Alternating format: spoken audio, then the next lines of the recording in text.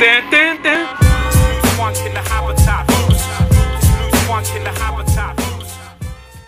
What's up guys, welcome back to the channel and real quickly I have a super easy money making method for you guys. You're going to go to the top right of the map where you see that little spiral and you're going to make a private lobby with your buddies. And the reason for it is because you're going to want to drift with those guys because while you're together in a lobby you can't hit traffic.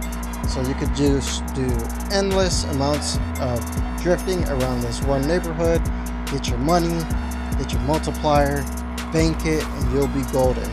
I can't take credit for this. This goes directly to Doc Drift and Masskong to find this out. And we're just having a lot of fun grinding this out.